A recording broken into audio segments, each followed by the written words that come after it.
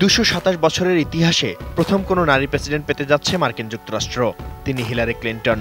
স্বামী Bill Clinton president থাকার সুবাদে উনিশশো বিরানব্বই থেকে দু হাজার সাল পর্যন্ত ছিলেন ফার্স্ট লেডি। এবার তিনি নিজেই প্রেসিডেন্ট হলে বিল ক্লিন্টনের পদবি কি হবে. যুক্তরাষ্ট্রে বিভিন্ন অঙ্গরাজ্যের নারী গভর্নরদের স্বামীদের ফার্স্ট জেন্টেলম্যান নামে সম্বোধন করা হয়। বর্তমানে দেশটিতে ছয়জন ফার্স্ট জেন্টেলম্যান রয়েছেন। প্রথম মার্কিন প্রেসিডেন্ট জর্জ ওয়াশিংটনের স্ত্রী মার্থাকে ডাকা হতো লেডি ওয়াশিংটন নামে. First lady of the US সংক্ষেপে ফ্লোটাস।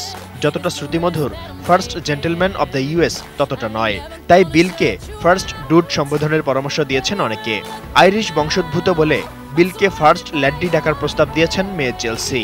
বিবিসিও তাদের মতামতে বলেছে, দুজনকে একসঙ্গে মিস্টার অ্যান্ড মিসেস প্রেসিডেন্ট বলে ডাকা যেতে পারে। তবে হিলারি প্রশাসন চাইলে মিসেসের পর মিস্টার প্রেসিডেন্টও চলে।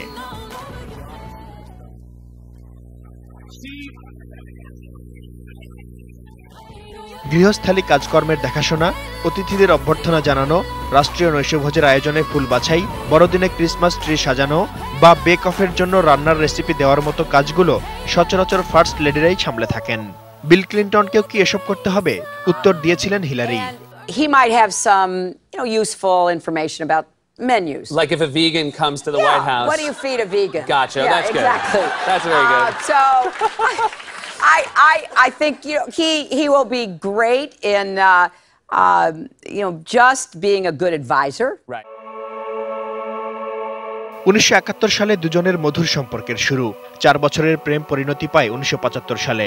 সবকিছুই ভালো চলছিল, কিন্তু দ্বিতীয় মেয়াদে প্রেসিডেন্ট হওয়ার পর সুখের সংসারে ঝড় হয়ে আসে নারী কেলেঙ্কারি। সেসবও সামলে নিয়ে এখনও একসঙ্গে আছেন দুজন। Shaon Mahfuz, desk report, ATN news.